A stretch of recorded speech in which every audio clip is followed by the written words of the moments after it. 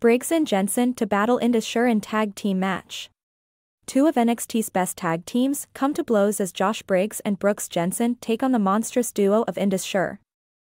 Veer and Sangha have dominated the NXT tag team division since returning to the black and gold brand, and they'll look to continue that against the young team of Briggs and Jensen.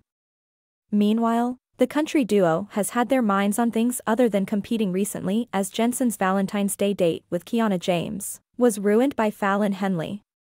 Will Indus Sher continue to crush their opponents or will Briggs and Jensen refocus on their in-ring careers and come away with the win? Tune in to WWE NXT on Tuesday at 8 7 C to find out.